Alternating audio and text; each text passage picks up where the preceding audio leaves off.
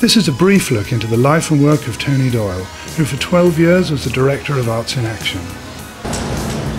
Just in front of you. There we go. Right. What do we got? Hello.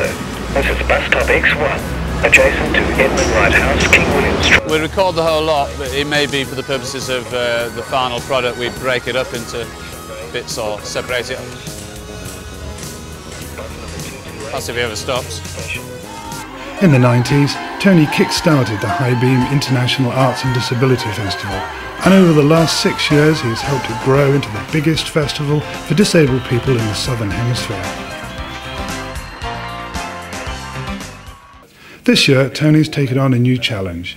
He will work to develop and present a high-tech sound installation project that will produce a digitally enhanced, interactive environment involving people with multiple and intellectual disabilities. The Somersault programme is a major part of his Commonwealth Fellowship work. Somersault's a programme that's designed to transform environments and to start community development through the arts around people that are left out. Tony's chosen one of the most disadvantaged areas of Australia to work in. He is finalising suitable venues for his installation and workshops in partnership with the Port Adelaide Enfield Council. What exactly would you need? A building that has enough room to run workshops, that has reasonable access for people in wheelchairs, preferably around the more the Enfieldy up towards the Strathmonty areas even. Right. You know, if there was anything up there, Mm, would be good. okay. it's very cream. It's a pretty big centre, isn't it? It's huge, yeah. This is a a nice sc- picture a of s- the Queen on the wall in here. The Queen! Yeah, the only bit of art. Perhaps we could, uh, can, can we dolly that up? It's in a nice uh, primrose. I guess you could have uh, triggering devices uh, around areas that are going to be used by people in wheelchairs that might trigger soundscapes, sound. Yeah, I appreciate that. Thanks very much. All right, I'll see you then. Yeah, cheers. Bye.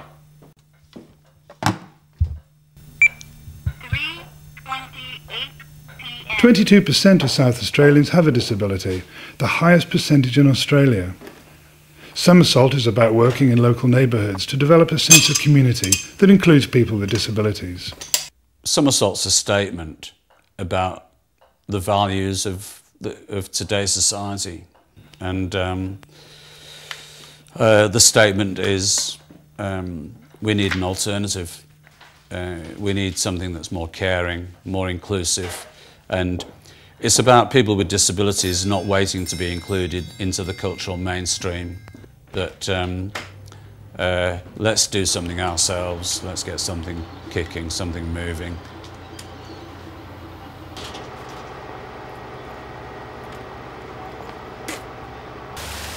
In 2002, Tony received a Community Cultural Development Fellowship from the Australia Council to enhance his plans for community projects.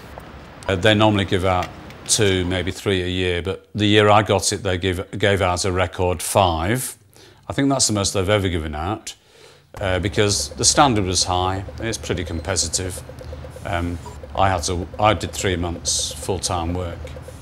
The fellowship simply, for me, it gives me a period of time to explore, to create, um, and to establish.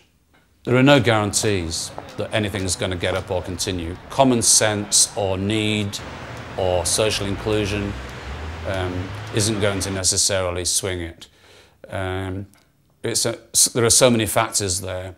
All you can do is progress positively, confidently, as confidently as you can, and believe that if you're doing valuable work, that it'll get recognised somewhere and it will, uh, that we'll find the funding to continue it on.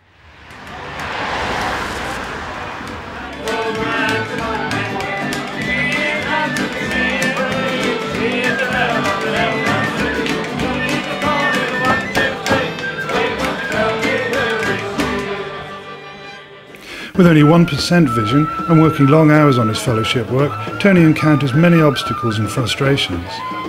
By the end of the week, he's ready to let his hair down and join in the party with his friends in the Adelaide music scene. The second of the uh, fellows is Mr. Gerard Doyle, He is a common fellow of the uh, Community Culture. When Tony returns from an international uh, research which is a trip for his Churchill Fellowship, he has less than a year to transform his vision into reality.